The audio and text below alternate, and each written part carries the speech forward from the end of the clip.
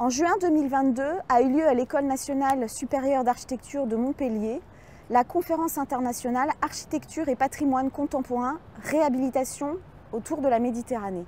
Cette conférence a été enregistrée grâce au soutien de l'Union des architectes de Méditerranée, l'UMAR, de l'École nationale supérieure d'architecture de Montpellier, l'ENSAM, et des chercheurs et des intervenants. Vous allez retrouver ci-dessous l'ensemble des modules vidéo qui vont vous permettre d'accéder à la ressource de cette conférence. Je vous souhaite un bon visionnage.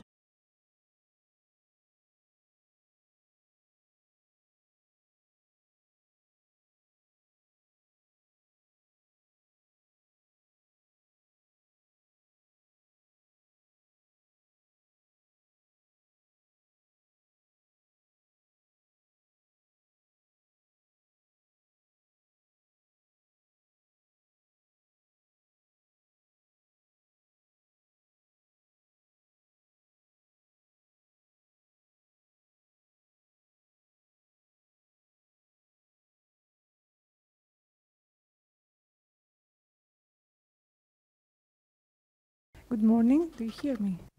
Bonjour, vous m'entendez?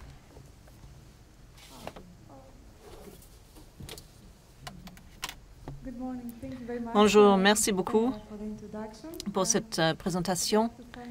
J'aimerais remercier les organisateurs euh, de m'avoir donné l'opportunité de présenter la ville de Longos.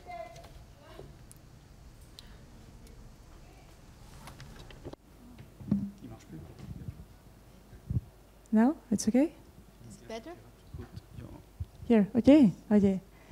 Um, sorry. Dans la présentation d'aujourd'hui, je veux vous faire un survol de ce projet de restauration et la réutilisation de ce monument, Longos Mansion, qui est situé à Thessalonique, la plus grande ville du nord de la Grèce. Le, la Longos Mansion, connu sous le nom de Red House, est l'un des bâtiments historiques les plus importants du centre de Thessalonique. Il a été construit entre 1926 et 1928 pour Ioannis Longos, qui est un entrepreneur impliqué dans l'industrie textile. Le mansion Longus répertorié euh, euh, a été donc euh, classé depuis 1983, a été mis hors usage depuis bien des années. Le bâtiment historique domine la place centrale de la Sainte-Sophie à Thessalonique, qui est juste en face de l'église byzantine homonyme. Et euh, ici, vous voyez l'église byzantine et ici, vous avez la mention Logos. Euh, voici le plan du euh, centre-ville.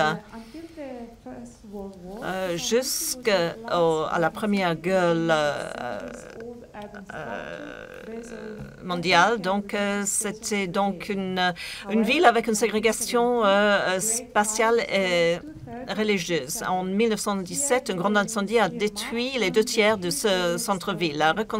Euh, ici, vous voyez un plan de, cet incendie. La reconstruction de la, ville, donc, euh, dépassait la replanification, la modernisation. Il y avait une forte euh, volonté politique qui a inspiré le projet. Le nouveau plan de Thessalonique a été conçu par un comité international de planification sous la supervision de son président, l'architecte français Ernest Qui était à cette époque en service militaire à Thessalonique avec l'armée de l'Orient.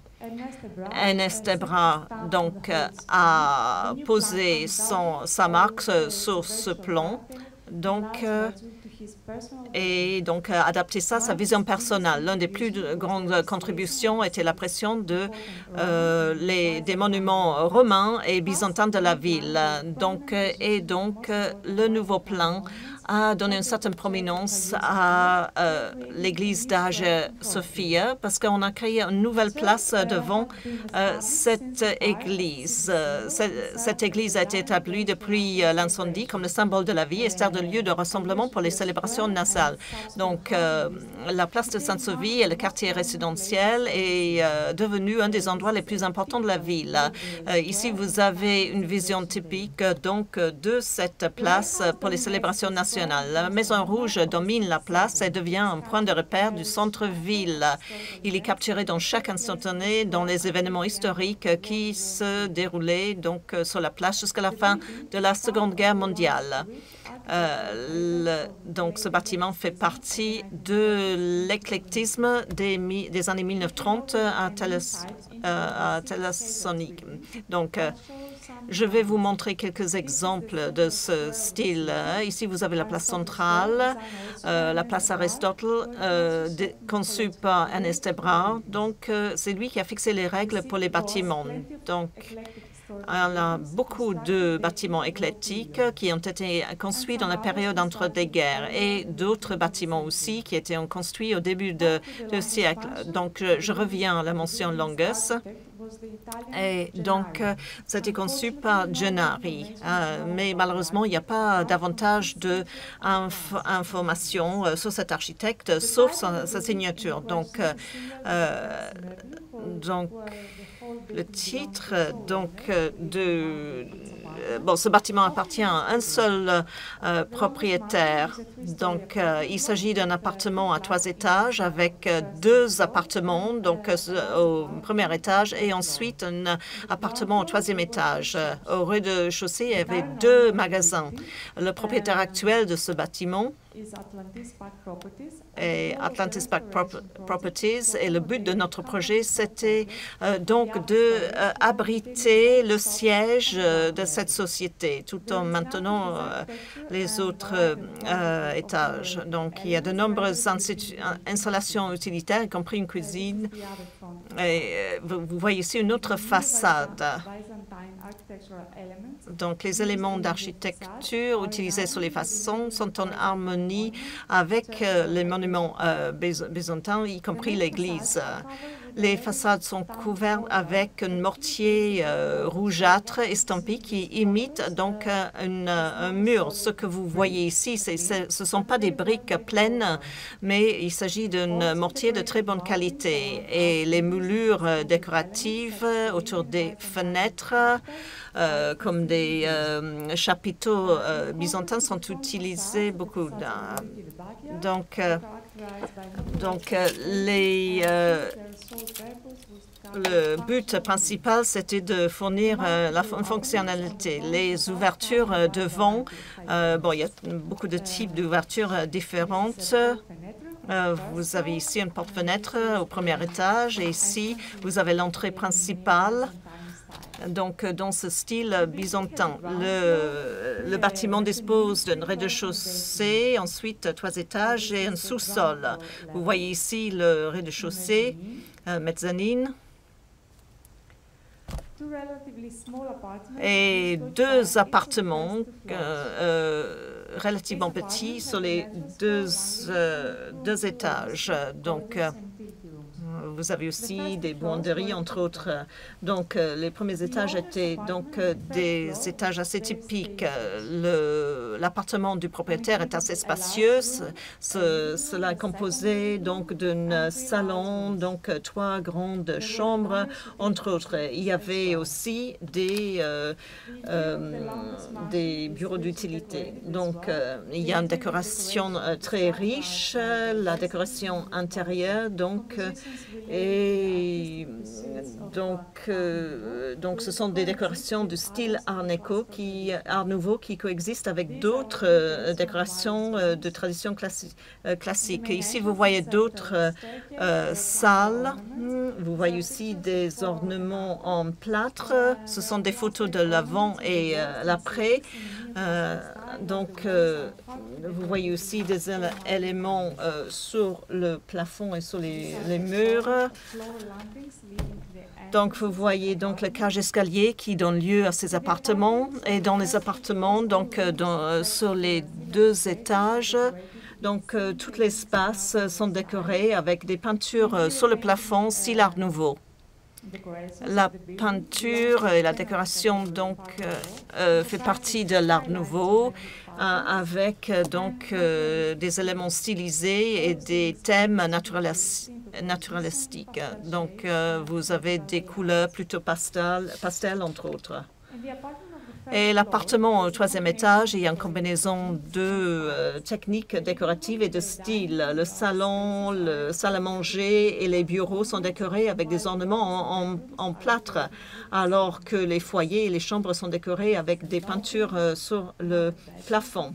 Et ici, vous avez une lobby, une autre chambre. La la pathologie. de Ce, bâtiment a été abandonné pendant quatre euh, décennies, n'a pas été entretenu euh, depuis bien plus longtemps. Et le résultat de ça, c'est que donc il y avait une dégradation, euh, dégradation, excusez-moi, euh, du ciment, donc euh, un écaillement, donc une fissuration, oxydation. Donc euh, et une corrosion aussi de la structure de l'armature euh, de cette dalle. Ici, euh, nous voyons des chambres au troisième étage. Podcast. Euh, Lorsqu'il- quand- qu'on a traité donc la, dalle, nous avons euh, rencontré pas mal de problèmes pathologiques. Euh, Les matériaux pour la façade, les façades principaux sont couverts avec ce mortier rougeâtre. Il y a certains éléments tels que les capitaux et les linteaux qui ont été fabriqués de mortier et d'autres éléments décoratifs ont été construits avec du plâtre projeté les façades prin- principaux. Donc, les matières ont été appliquées de la meilleure manière possible. Nous avons effectué des analyses euh, de laboratoire pour déterminer la composition des matériaux. Les analyses ont montré que cette imitation convaincante de plainte et de chaud et euh, la bonne durabilité du mortier euh, existent grâce au niveau de condensation approprié. Donc, les façades principaux qui euh, ont été mal entretenues euh, et qui ont souffert de la pollution de l'air. Donc, il y a aussi une infiltration, il y a eu une infiltration euh, de l'eau. Les travaux de réparation ont aussi été effectués, mais avec des matériaux inappropriés. D'autres photos Et à la différence des façades euh, de devant, les façades de derrière euh, avaient comporté beaucoup de euh, problèmes aussi, surtout en ce qui concerne une, une qualité de construction inférieure. Il y avait aussi une surpeinture sur le cage escalier et donc euh, et ça voulait dire que les, il y a des panneaux en marbre ont été détruits. Euh, les, les décorations ont été couvertes par la surpeinture et pour cette raison, nous avons, euh, rooms. nous avons travaillé sur les, sur les peintures et euh, de, la, de la maçonnerie. Et voici donc une étude euh, donc, euh, qui est effectuée. Et on a fait ce genre d'étude pour euh, chaque salle. Mais c'était la moisissure qui était la raison principale pour euh, les dégâts au plâtre, surtout au troisième étage où les surfaces peintes et les éléments en plâtre avaient été détruits par euh, la pénétration d'eau. Ici, nous voyons les salles au deuxième étage et euh, quelques salles au troisième étage. Étage. Le but de cette étude, c'était d'adapter le bâtiment aux exigences modernes et de transformer les appartements sur les euh, étages supérieurs en bureaux, tout en maintenant les boutiques sur le rez-de-chaussée. L'amélioration fonctionnelle a été euh, réalisée euh, par enfin, l'ajout d'un ascenseur.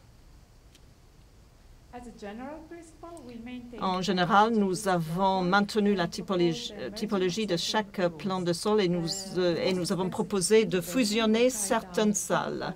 Euh, les plus grandes interventions ont été effectuées sur le premier étage. Ce plan euh, du euh, premier étage montre toutes les interventions qui ont été réalisées. Euh, au deuxième et troisième étage, les, les modifications ont été effectuées sur les espaces annexes. Donc, nous avons retenu la cuisine à la deuxième étage et euh, au troisième étage également. Donc, euh, et ici, vous voyez la terrasse. De ce bâtiment.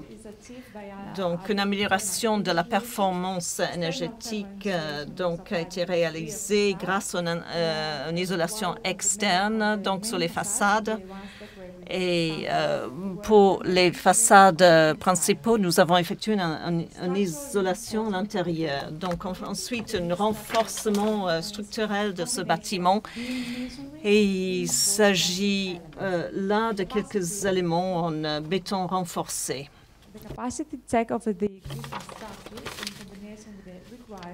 Ce qu'on appelle le capacity check a été réalisé et l'importance de cet euh, bâtiment a donné lieu à une intervention afin de renforcer la structure euh, euh. En, plus, il y avait donc des décorations artistiques à, l'extérieur et aussi à l'intérieur, ce qui a introduit certaines contraintes sur les, interventions proposées.